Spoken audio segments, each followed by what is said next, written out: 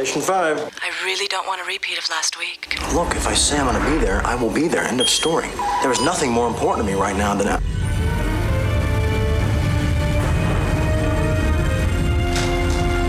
Zane! Zane! There are some DOD guys here going through our stuff. I don't know who these guys are,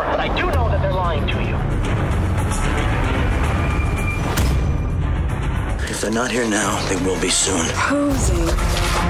As much as you think you know, you don't know the half of it. Why did they leave? They didn't, How do you know? because we aren't dead yet.